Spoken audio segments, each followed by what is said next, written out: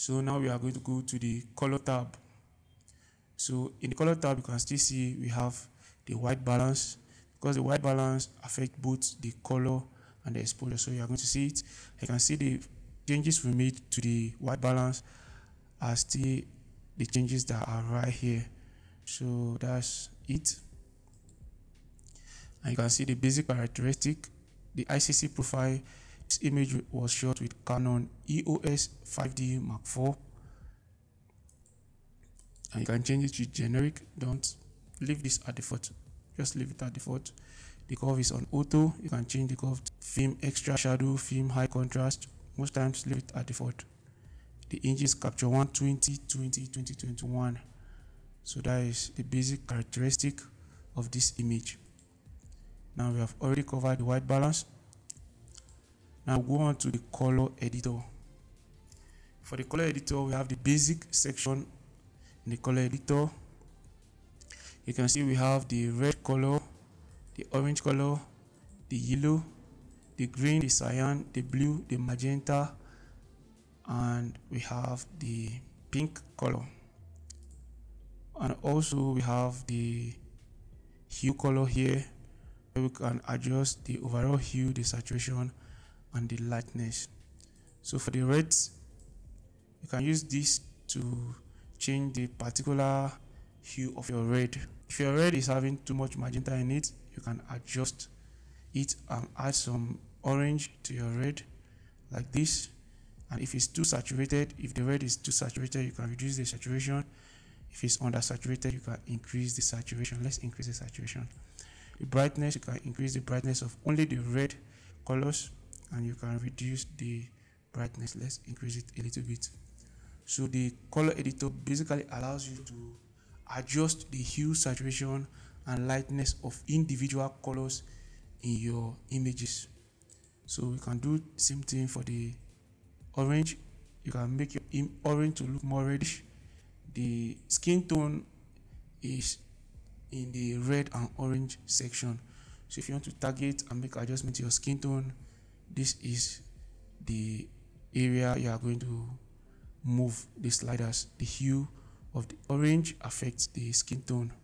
So you can add more magenta or you can add more yellow which is going to make your skin tone to look greenish. So let's add a little bit of magenta like this. You can increase the saturation or reduce it. Let's increase the saturation. And you can also increase or reduce the brightness. Let's reduce the brightness a little bit the yellow if there's too much yellow in your image you can remove the yellow you can add yellow let's remove the yellow.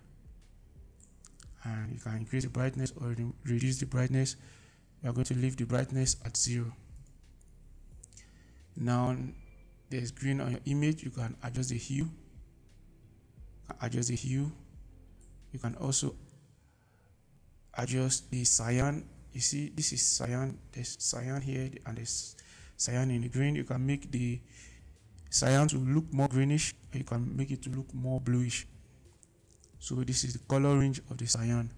You can make individual stylized adjustment to it. The adjustment you make to your color are going to be a creative process. Most time there's no right or wrong color. So you just have to understand color theory and put that in mind when you make adjustment to this particular section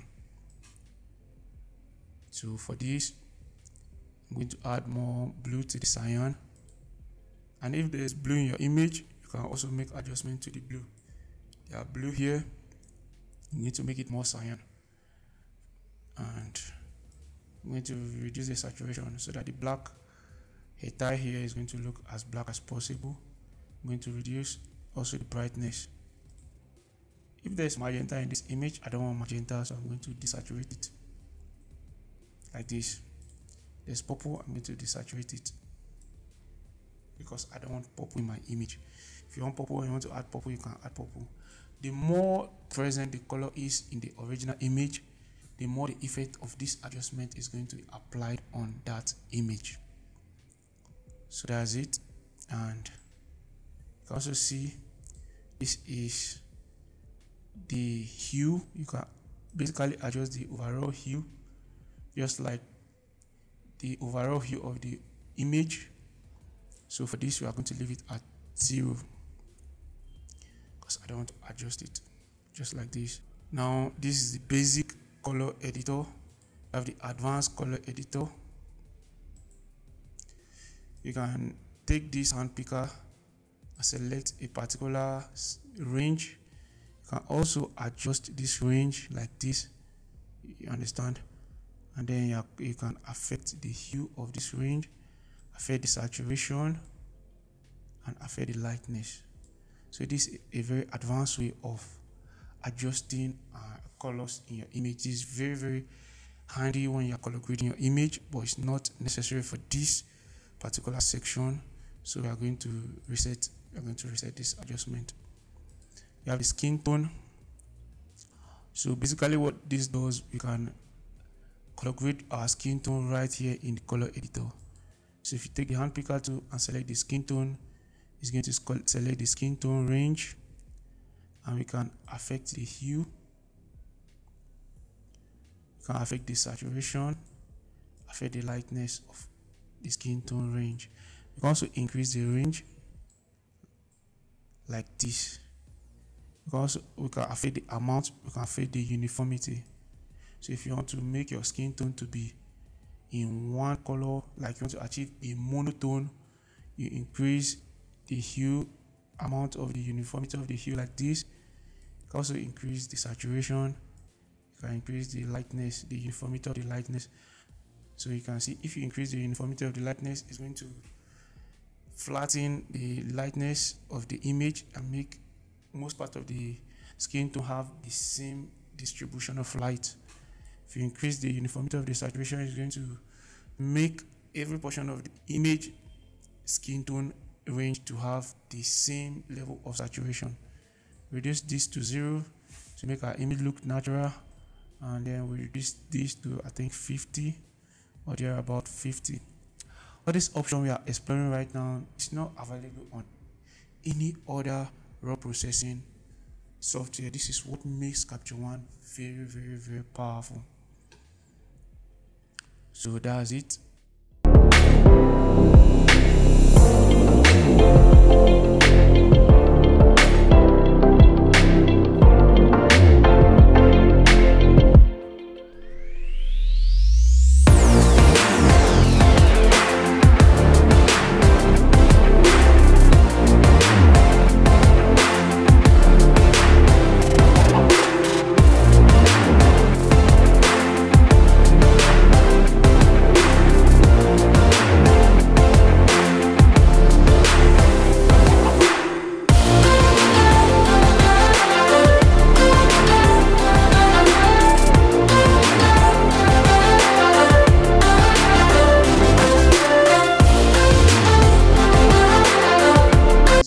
embed color profile.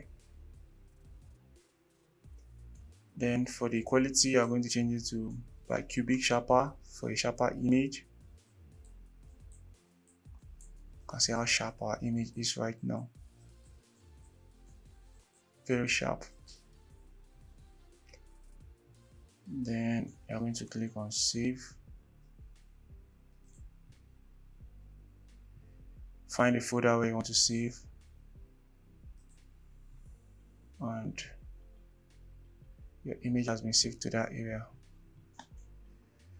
So this is the end of the retouching course. If you have any inquiry you can reach out to me on instagram. If you have my whatsapp you can contact me on whatsapp. Also for those of you that are very busy we offer retouching services. That is you can send us your image and then we edit them for you high-end retouching at a very affordable rate. So even after learning this if you want us we can edit your images for you. Just reach out to me on instagram. If there are other stuff you need you can reach out to me on instagram. If you have any question you can ask me on instagram. See you in another one